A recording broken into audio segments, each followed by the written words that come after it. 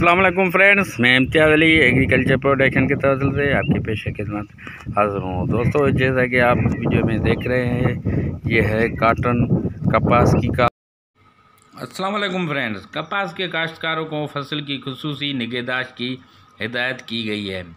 महकमा ज़रात की तरफ़ से। तर्जुमान महकमा ज़रात ने कपास के पौधों पर फूल, डोडी बनने के दौरान फ़सल की खसूस निगहदाश्त की हिदायत की है। और कहा है कि मौजू कराम मरहले में सफ़ेद मक्खी, मिली बग, लश्करी सुंडी और पत्ता मरोड़ वायरस जैसी बीमारियाँ कपास के फ़सल पर हमला आवर हो सकती हैं।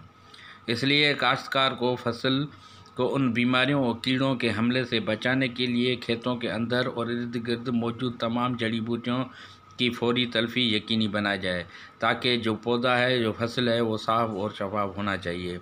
और गैर ज़रूरी मुतबादल खुराक पौधे की तलफी होने समेत फ़सल को बड़े नुकसान से बचाया जा सके।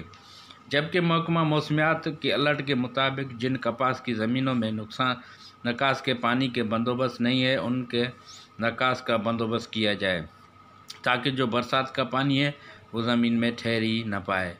कपास एक अच्छा और मुनाफे बख्श फ़सल है और उसके साथ उस पर निगहदाश्त बहुत ज़रूरी है, क्योंकि वो बरसात या पानी का ठहराव इस फ़सल को ख़त्म कर देता है और कपास के फ़सल में जिन बीमारियों का हमला है, जो आपको पहले बताया गया है। उन बीमारियों के खात्मे के लिए तस्लीम शुदा और आजमाई हुई दवा का इस्तेमाल किया जाए, ताकि उन बीमारियों पर बर वक्त कंट्रोल किया जाए। और फ़सल के पौधे में जो नशो नुमा रुक जाती है, वो बहाल हो जाए और बेहतर मकदार का फ़सल हासिल कर सकें। मेहरबानी। जो दोस्त हमारे चैनल पर सब्सक्राइब हैं, हम उनके बेहद शुक्रगुजार हैं। और उनसे गुजारिश है कि हमारे वीडियो को लाइक करें और शेयर करें। जो दोस्त हमारे चैनल पर सब्सक्राइब नहीं है, उनसे गुजारिश है कि हमारे चैनल को सब्सक्राइब करें और वीडियो को लाजमी लाइक करें। लाइक करने से आपका कोई भी खर्चा नहीं होगा।